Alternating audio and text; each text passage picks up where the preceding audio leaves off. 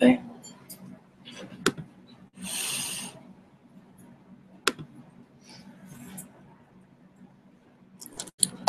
So just Okay.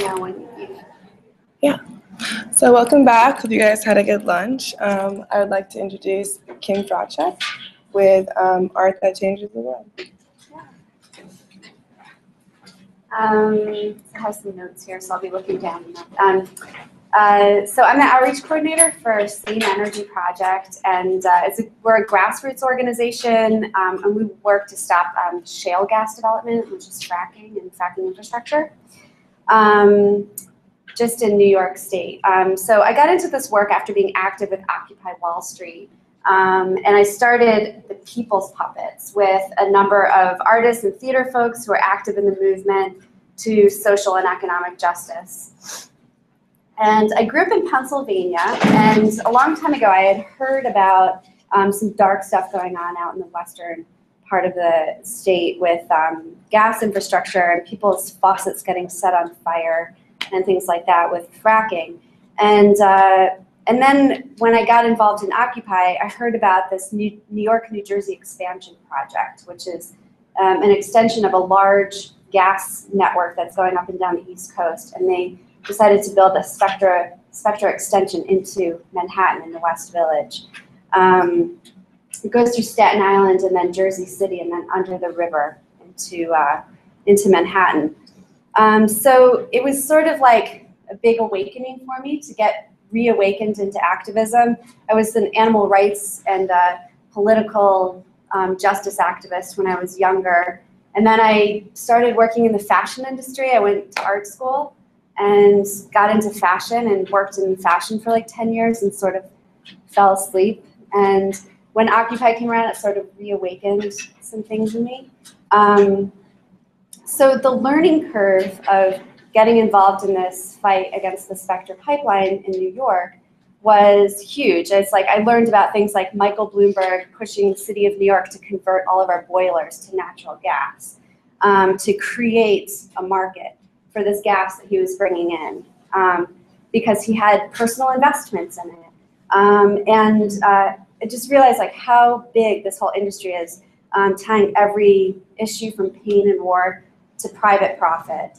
And um, so making art in a studio with other like minds of folks that I met in Occupy, uh, we, our studio's in DUMBO. Um, uh, we're all fighting for social and political justice. It was like a huge game changer for me. So making art to actually help change the world was absolutely like the right thing to do for me. Um, so how I broke down this discussion is uh, one, art as communication, two, art to start a conversation, and three, art as a narrative. And why these three things will help to shape the world that we want to make possible, so that we know is possible. Um, let's see. Okay, so uh, the communication. So this is taking, communication is my taking my art into the street and telling the story. So this story here is uh, the story of the Hindhorst and the Baum families. Um, and they live directly across the street from fracking infrastructure. Um, the, the Hindhorst live across the street from Cove Point liquefied natural gas port in Cove Point, Maryland.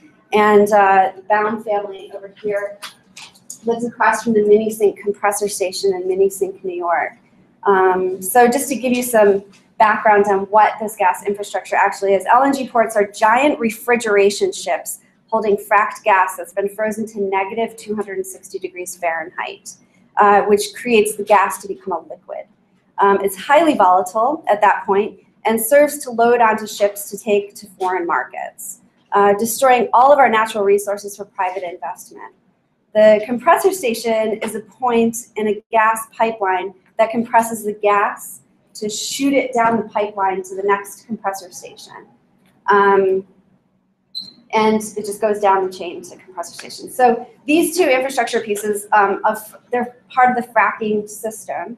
Um, they're devastating on our health and all life that live near them. Um, and we'll get into more detail about that later. But um, so now we'll go into more art, more stories. Um, here's work that the People's Puppets did for the March Against Monsanto. Um, you can see how this changes the agora. Um, having a clear message delivered, so we made these banners that are all made in beans.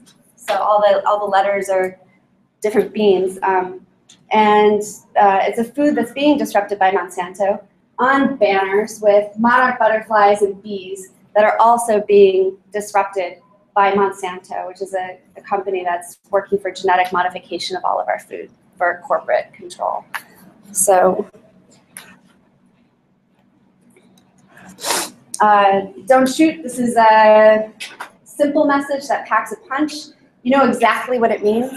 Uh, it's an issue of liberty and justice for the Black Lives Matter movement. Okay. Um, here we made clear typeface um, banners that you could see through.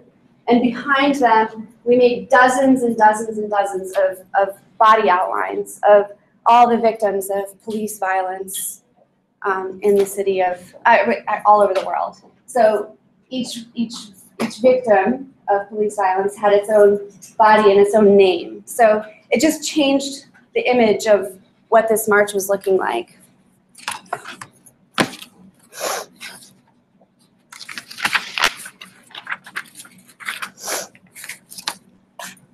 So you see with this crowd, we have, you know, a bunch of people hanging out. Um, and crowds are great. We love people. But if you pop in Lady Liberty to that crowd, it changes what the crowd looks like, what the crowd is there for, what the crowd is doing. So these people are, are gathered for a reason of justice and liberty. Um, this is the Occupy Wall Street Lady Liberty on her first outing before we even painted her. Um, here is a crowd gathering again in the Agora to come together around our maypole with a theme of all of our grievances are connected. We can play, we can look, we can talk, or be in a crowd. And again, that's great, it's not a bad thing, but how much more fruitful is it with the art? Here's our lovely friend Claire Leibowitz playing with one of the ribbons. So each of the ribbons had a different uh, grievance of our society that doesn't help us elevate, which is what a lot of the Occupy movement was about, multi-issue. Um, so here is um, our friend playing with one of our debt monster puppets. Or he's just a dude hanging out in a park. Mm-hmm. Um, so all of this artwork leads us to what is important about this work um, you get to start a conversation. So, you know, we had this debt monster in the park. People get curious about it. They come up and they talk. We just happened to have this newscaster come up and start chit-chatting with us, and we got to talk to her about the debt crisis in our country and how, you know, it's a, it's a phony institution that's created by bankers to keep us all in debt. And we actually began to like have a great conversation based on this like cardboard that we sourced from the garbage and made this thing called a debt monster out of.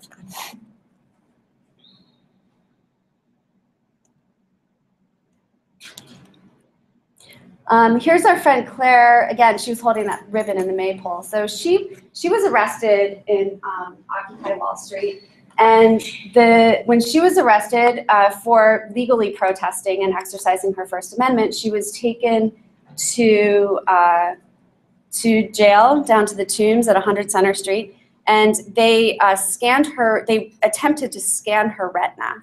And because she knew that it wasn't mandatory to have her retina scanned, it was an option, they kept her in jail for like two days. And so she decided to make a huge deal out of it and take the city of New York to, to court um, because what they were, they were detaining her illegally. So we, for her court date, um, the People's Puppets made a giant eyeball, which, you know, as she's coming out, all these news reporters are always hanging around the, the court steps. So they decided, what is this for? And we were able to start the conversation with them and tell them what happened. Um, here's my partner, Eric, who's in the back over here, with our Lady Liberty puppet. And everywhere we would take this puppet, little kids would be coming up to us like, oh, can we take a picture? Like, even the police would come up and say, "Can I take a picture with the puppet?" My my kids see this puppet all over social media and stuff. We'd be like, "Yeah, sure." You know, it was like in a major de-escalation moment, and um, you know, like we would we would stand in the park and we would, down at Zuccotti is really near like Trinity Church and World Trade Center and all you know all these tourist locations. So there'd be tourists walking by. They see this Lady Liberty puppet, and kids would be like, "Oh, like let me come over and talk to you." The parents would be like, "Oh, what are you here for?" We're like, "Oh, we're Occupy Wall Street," and they'd be like, you know, really, really scared. But then they would see that we're like great people, like we're we like are caring for their children. We're open and expressive, willing to have a conversation, and that wouldn't have happened if we were just standing there. Like the art draws people in, you know.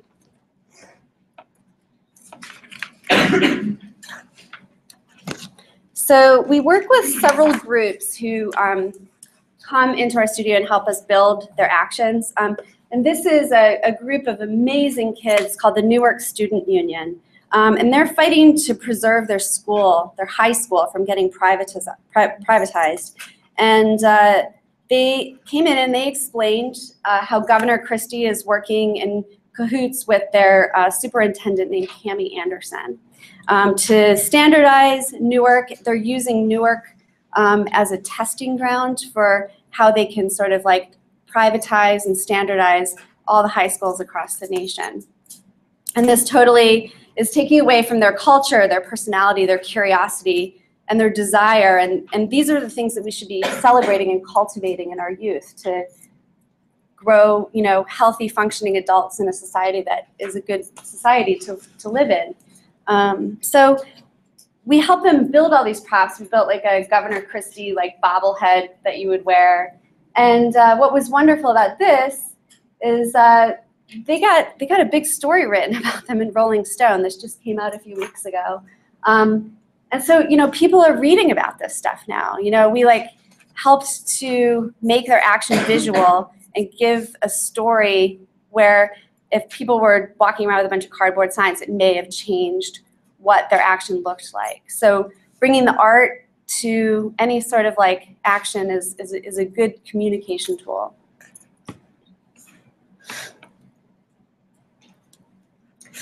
Um, this is a, a, really interesting story. These folks, um, can't remember how we met them. Um, they came into our studio and they explained their story. They are children of Caribbean immigrants. So their parents were brought here to teach in schools, part of this like teaching program, like, oh, we're gonna, you know, like provide you with uh, a job as a teacher because we wanna like diversify our teachers in the United States. So they bring their families over here, they live, they, they work, they teach, and um, when their children turn 21, they grew up as American kids. They all their friends here, you know, their hopes and dreams are here. Their life is here. The um, the United States is saying, well, once you turn 21, you have to get out because you are no longer legal here. So we helped them make uh, a cantastoria, which you'll learn a little bit more about later. I brought a cantastoria here. So we stood in Bryant Park at lunch hour and we went through their story about how they're aging out. And like this is a big phrase that, that's been used. We gave them a, a, a, a clock. We actually worked with them to build this. So now they have the art skills to go and share with their friends and their colleagues. And we got a lot of petition signed. We talked to a lot of people that day who learned about this that were like, no way, that's really going on. And the, and the, the really bad part of the story is the, the children that would come from Switzerland and the United Kingdom got their green cards. So this is clearly a story of racism, and we helped them to expose that. And so, you know, they got a story on NPR, they got a story in the New York Times. And this is really, really wonderful, and they're hopefully going to get to stay and get their green card because of their actions. So not only do we help to deliver messages outward to the public, but we believe that working on art together helps to build community and build connections.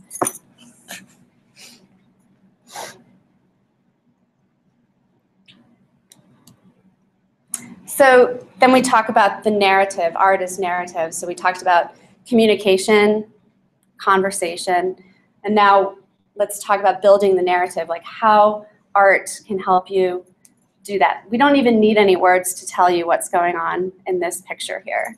Um, you know, student debt crunching kids. And we took this out to Governor's Island during the weekend of Figment. And everything that's in here is just, uh, we just blew up some garbage bags. So they're like balloons. So was really light. But the kids loved playing with it. You know, it's like everybody's like, oh, I get to get run over now. I, it's my turn, it's my turn. But what an amazing visual that made. And like all the parents were like, that is brilliant. That is so brilliant. You know, it was like a toy, but you know, it was like, it just worked out really well. Um, so these are ways to like use your art. You know, you guys are here at Pratt, and I know not all of you are students here, but you're all here in this room, so you're interested in art. You can use your creative skills to help tell a story, whatever story it is that's yours. These are um, farmers from Immokalee, Florida. This is where most of our tomatoes come from. So they are working really hard. They've been trying to get every supermarket and fast food store um, to sign on to the Fair Food Agreement. And the Fair Food Agreement is helping to bring uh, rights to the workers like health care. And one of their one asks is that these that these uh, buyers pay one penny more per pound of every of tomatoes. So that will help to raise their rates. One penny a pound. And Wendy's, Trader Joe's has signed on. McDonald's, of all people, have signed on. But um, Wendy's is a holdout. So there's like a big heated uh, movement towards Wendy's to really pressure Wendy's to sign this fair food agreement. So uh, we helped them build this like giant Wendy's thing, and they, they actually built this narrative that, that the icon of Wendy's signed the fair food agreement in the middle of Union Square. It was, it was really great. Another narrative, um, 2003, 2013, Congress decided to pat, like a sequester, threaten a sequester, taking away public, um, public uh, services. So what we did is uh, we made a giant twister game. So we would take it, we would take a giant, this giant twister game into, into public squares and we would play a game of twister called sequester. And what would happen where people would spin it and everybody would put their hands on the dots and then in the middle of the game, a, a, a, like a hooded creature would come through and tear the playing board in half. So people had to decide, do I, do I get out of the game? Am I gonna, um, can I share my dot with my neighbor? Or am I gonna topple over and just lose? So these were like real-time narrative situations that we put people in to make decisions on like, what would they do if they lost their service? What would they do if they lost their spot in life? Would they share would they die? Would they revolt? Would they go try to steal the, the other half of the sequester game back from the hooded figure? So every game was different, but it was a lot of fun, and it created a ton of conversation.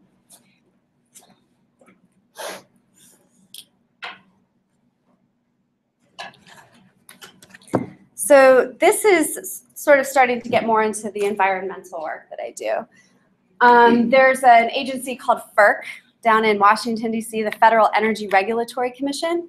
They work hand in hand with the natural gas industry, which is what my organization works to fight is uh, natural gas infrastructure and push for renewable energy, um, decentralized uh, efficiency, um, you know, power, put the, putting the power back in people's hands. Um, so we built a giant Monopoly Man puppet to, to represent the, the gas industry and we wrote a song based on the Beatles song um, Yellow Submarine, saying that we all know FERC is a rubber stamp machine because every, um, every gas company, pipeline company that comes to FERC will needs to get a stamp of approval for their project.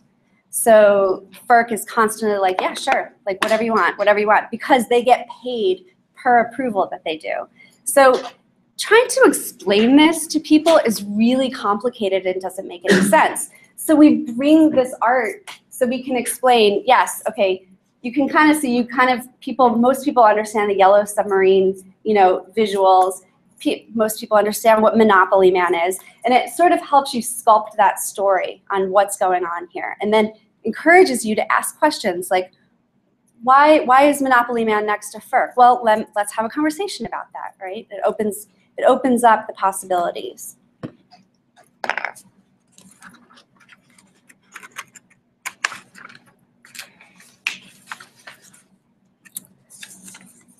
So we also we have a fracked gas pipeline coming up Flatbush Avenue called the Rockaway Pipeline.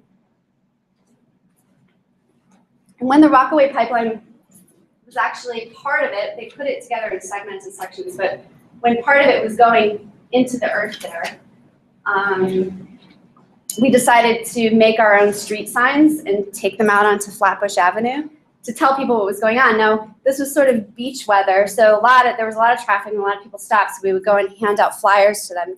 Did you know what fracked gas is? Do you know what fracking is? Like, here's really quick and dirty information about it. And people would be like, "What? I thought that was like a water pipe. Why would they be putting a gas pipe in the only evacuation route out of the Rockaways?" Which you know we all just got over Hurricane Sandy. and Some people are still dealing with the after effects of Sandy. So they know what it's like trying to get out of the Rockaways during an emergency. Why are they putting a gas pipeline there? So we got to actually talk to them about a deeper issue, just like in their cars while they're like in traffic at a traffic light. And then the news came, and that was really good.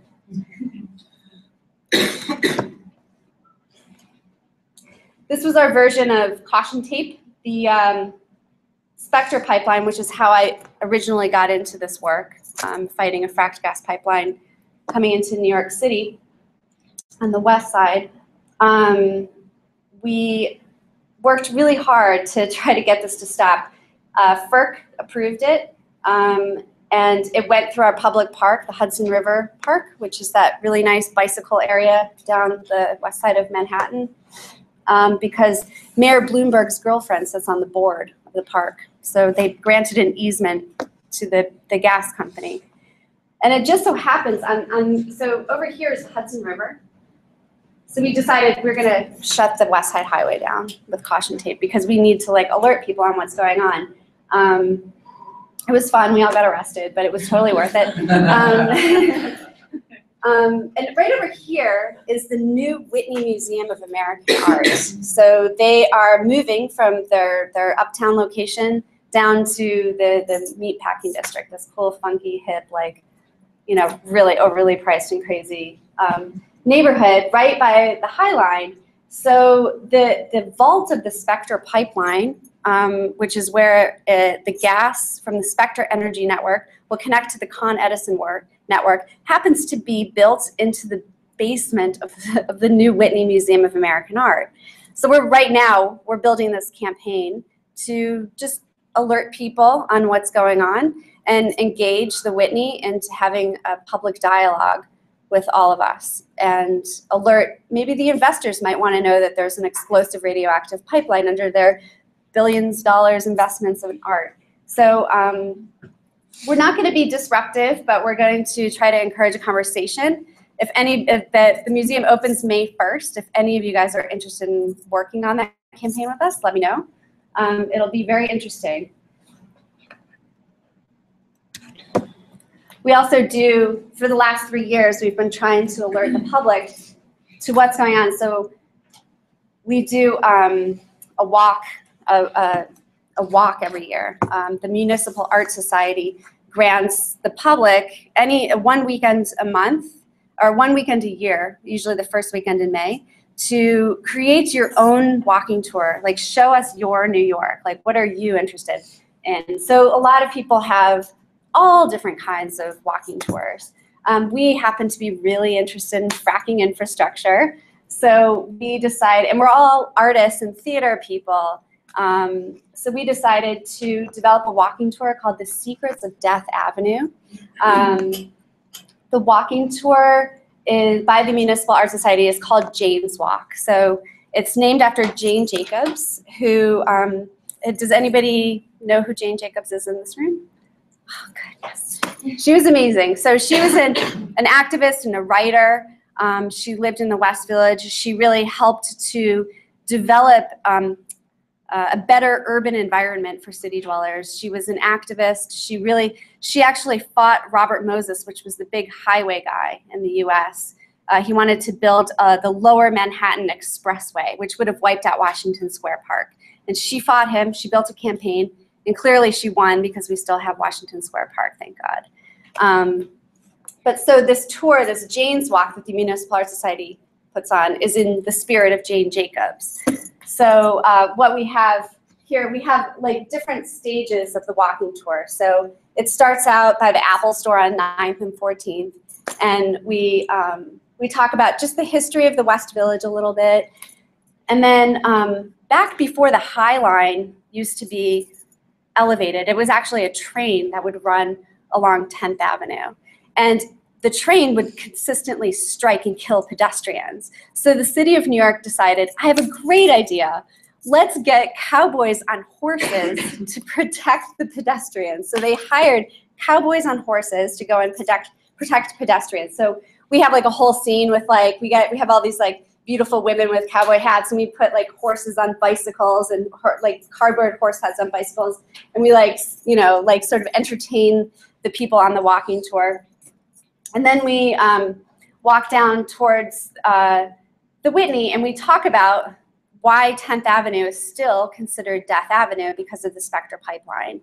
So, um, and then here we have um, our friend Monica and our friend Brad. Um, they're amazing actors. They, they, they have this like boxing match between Jane Jacobs and Robert Moses. And it, it just pulls in like tons of people. Everybody's like, what's going on over there? It's really funny and really cool. Um, and here's a picture of me dressed up as a Roy Lichtenstein painting, talking about Michael Bloomberg and, and his connection to the Spectra pipeline. And then we talk, we bring all these different works of art that are in Whitney's permanent collection um, to life. And they give a short monologue about the, the Whitney and how they're endangered species now because the Spectra pipeline lurks underneath, you know, their home.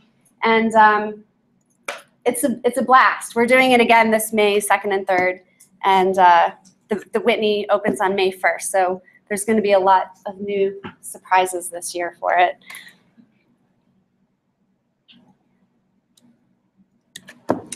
So to talk again about fracking infrastructure, this is a real-time issue that's going on now that we are working to stop. Um, the liquefied natural gas port called Port Ambrose is being proposed off the coast of the Rockaways, Long Beach, Jones Beach, Fire Island. This is a, a, company called Liberty Natural Gas, and they, in 2011, had applied to build this uh, natural gas port. Uh, it would be the size of, say, like the Empire State Building lay that on its side and go up about 12 to 13 stories. So that's the size we're talking about here. LNG is, as we talked about in the beginning, it's uh, fracked gas that's frozen to 260 degrees negative Fahrenheit and turns into a liquid. And that is just stored out in these like shipping containers, uh, those three round, that's sort of my illustration of what an LNG terminal looks like. Um, uh, it's the, it's stored in these giant balls on this on this uh, port, this marine port, and it's being proposed. It's about 19 miles or so off the coast of our beach. It just so happens it's in exactly the same spot as an offshore wind farm proposal. Yeah, it's like right now we have this real-time choice in New York City about how we are going to proceed and build our future. So we sort of won a, a little bit. We're, we're getting there. We're, we need Governor Cuomo to veto this project. We've been talking to people all along the coastlines. We've gotten the Long Beach City Council to unanimously write a letter to go, agree to write a letter to Governor Cuomo to veto this project. We have a hearing coming up on Wednesday with the New York City Council um, to write a letter to Governor Cuomo to veto this project. Um, and what would be so awful about this is if the LNG port gets built, there's no potential for us to build this offshore wind farm because there is very little land that you could actually build something on in that part of the ocean. We have shipping lanes there. Um, and then there's also really deep trenches, so the, the actual land is shallow enough to build something. Um, so we're working on that. Um, this is some of the folks that I've been working with. Uh, the kids out in Long Beach, they love their beach. So what I can bring is I know that I can bring storytelling through art to them, right? So they developed, this is this was on their own, they developed a Save the Mermaids campaign. They love mermaids. So they decided to start this whole thing and, and make lawn make lawn fences. They everybody has grass green yards out there. So they decided to make fen, uh, like signs, like lawn signs, like politicians do, and put these all over Long Beach. And uh, they're they're they're brilliant kids. So um, Cantastoria is um, one of my personal favorite types of art to help to tell a complicated narrative. Uh, Cantastoria in Italian means sung story. It, Cantastoria dates back to uh, like the fourth century in India is who originally developed Cantastoria. Um, so uh, I have a Cantastoria that I'm going to present to you today because it's kind of fun. Um, and, uh, and then we could either do some Q&A and discussion, or if you guys want to learn how to build a Cantastoria, we could do that too. So just to, to finish up, this was uh, Monopoly Man. We took him into Times Square on election night when Obama and Mitt Romney were running against each other. And we would constantly stop and be like, hey, Mr. Monopoly Man, who's winning the election tonight? He'd be like, you know, it doesn't matter, Goldman Sachs is winning, you know, and like all these news cameras from all over the place would like come over. We got on like Fox News with this. It was it was pretty pretty that was like probably our our most spectacular night. It was a really good narrative that we built for the middle of Times Square on election night. And then just imagine if there was no art. You know, there would be no conversation. There'd be lots of ads telling you to buy stuff. More. Yeah, yeah. So um, if you're interested in the environmental side of some of the work that I'm doing, um, I work for Sane Energy Project. Uh, we're a very tiny grassroots group that we're stopping, trying to stop shale gas infrastructure, and I think we're going to do it. We got at least a ban on drilling here in New York, which is a big success. So you can write to me anytime. Here's my email address. I have cards up here as well. Or if you want to participate in some creative mischief with me, uh, our puppet studio is just in DUMBO uh, at 20 Jay Street. And uh, this is what our studio looks like when we're during, during a massive build. And there's lots of really good people. We meet in there Monday and Thursday nights. We're going to actually be building, starting on Monday, uh, a giant LNG tanker to take up to Governor Cuomo's office to encourage him to realize that we don't want the LNG proposal approved. So this is how I'm working with uh, art and activism and how I choose to change the world. So, and that's it.